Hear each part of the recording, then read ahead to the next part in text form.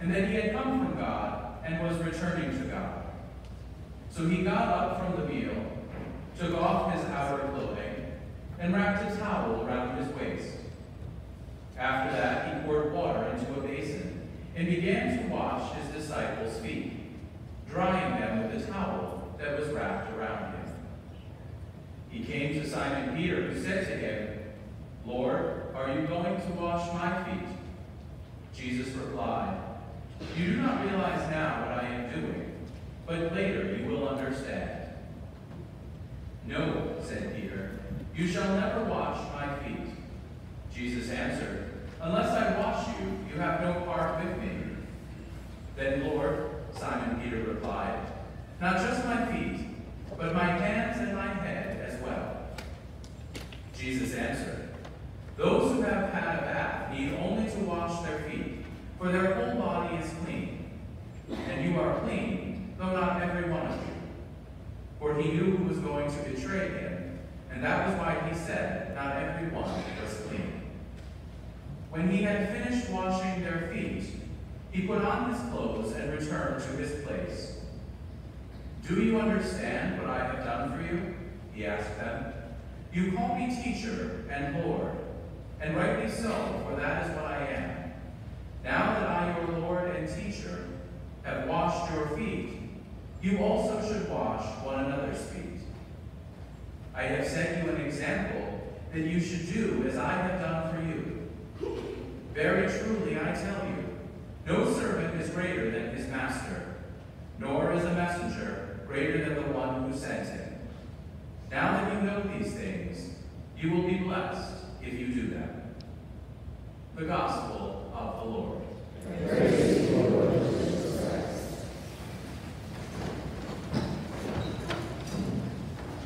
Good evening.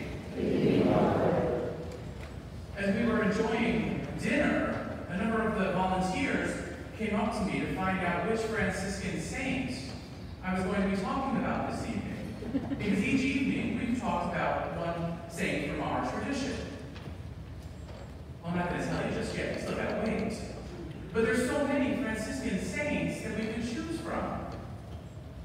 St. Bonaventure, St. Bernardine of Siena, John of Capistrano, Clare, Agnes. The list goes on and on. But I must say, I felt very welcomed this evening that we started with the Franciscan national anthem,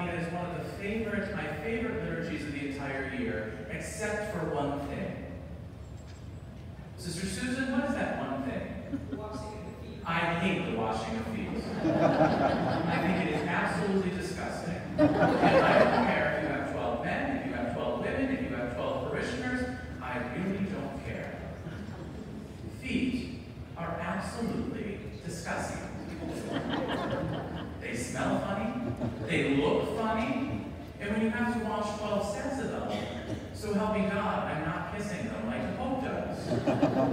You're lucky you get me that close to anyone's feet.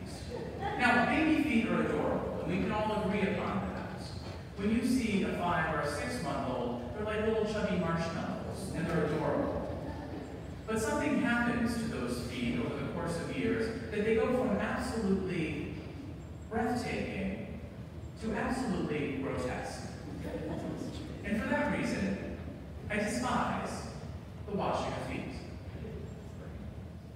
But yet, it is one of the most integral things that we have to cling to as Christians. And we see that exemplified in this evening's gospel. If we read the Gospel of St. John, that is St. John's understanding of Eucharistic love. Direct service to our brothers and sisters, regardless of how unpleasant it may be. That's the example that St. John left for us as he witnessed the Last Supper. Yes, there was bread. Yes, there was wine. The words of consecration were said. All of that happened. But for St. John, the highlight of that evening was when Jesus left an example that we were to follow. And that example was one of humility. That example was taking the lowest place in the room and serving everyone else. Tonight, as we conclude our 40 hours, and we focus on that last Franciscan saint, we're focusing on a Franciscan saint who did amazing things, who was an absolute pillar in our tradition. This particular saint was one of incredible strength, of incredible perseverance, incredible obedience, incredible humility, incredible faith, that culminated and was displayed most in her actions. This evening, for our final evening, I chose St. Clare of Assisi.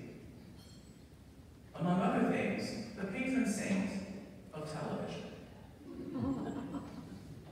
Which is kind of weird, right? But we'll get to that eventually. But I chose Clare because she represents, for the Franciscan family, she represents the feminine component of our spiritual movement. The friars formed the first order, the Poor Clare nuns formed the second order, and then all the men and women who followed after them formed the third order, both religious and lay. But it's the relationship, I think, between the first and second order that always complements each other, be that spiritually or be that emotionally. So many of our friars have had Poor Clare nuns as spiritual directors because they offer us an exceptionally unique perspective into ministry. They offer us a unique perspective into humility, into obedience, into strength and perseverance. Everything that St. Clare was about, they bring to the first order and they bring to the church. If you don't know much about St. Clare, I highly encourage you to read about this medieval woman. She was a noble from the noble class in Assisi who rejected absolutely everything to follow St. Francis. She embraced most high poverty, just like Francis did. She embraced obedience, just as Francis did, and chastity for the sake of the kingdom. She wanted originally to found an active community of sisters who would work alongside the friars, taking care of the poor and the lepers outside of Assisi. And the Holy See told her no.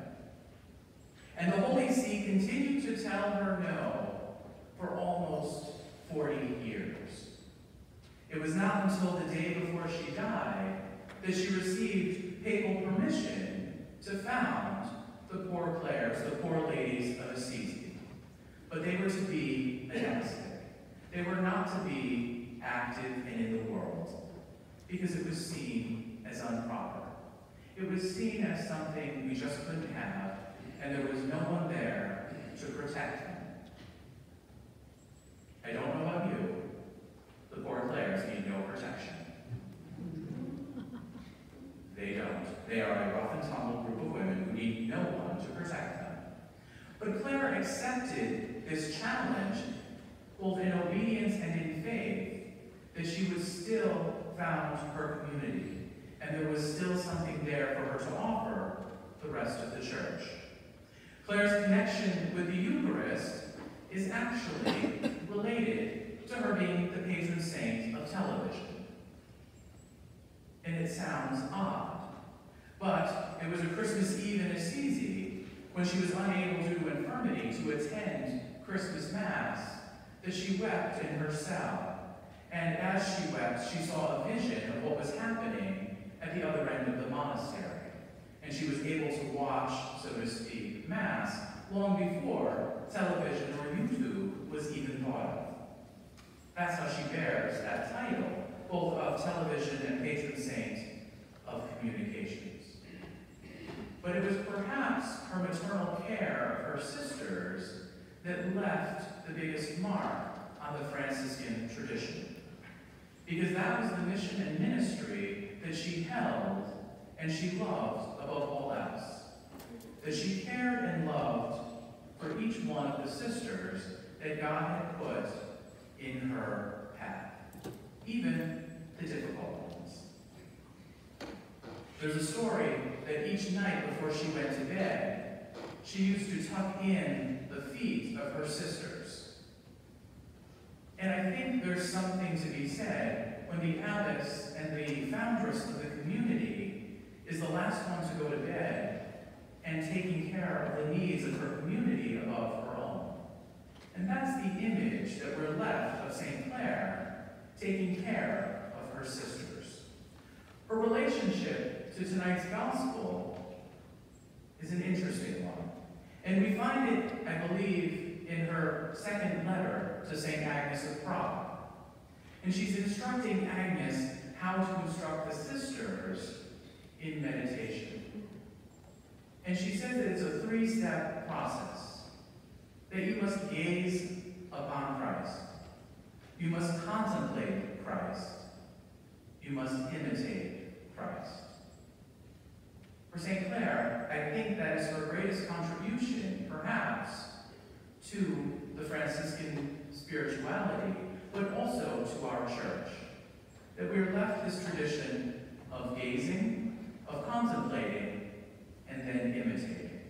And whether that's before the cross of San Damiano or the Blessed Sacrament, we're called to do the same exact thing. We're called to gather in silence, just like St. Anthony. But then we're called to gaze upon Christ himself, on the fullness of God's gift to humanity. We're called to contemplate what that means, how that affects us. But we're not to stop there. Even if we're monastic or Clares, we're not called to stop at the moment of contemplation, but rather we're to go forth and to imitate. St. Clare shows us that the imitation component, even if one is in a monastery, behind monastery walls, is just as effective and speaks just as loud as it does when one is in active ministry beyond the walls of the monastery. For all of our parishes here in Coal Country, we do just that. We do gather together to pray. We do gather to gaze upon Christ. We do contemplate the many dimensions of his life and the effects that it has to us. But all of our parishes here also then imitate Christ himself.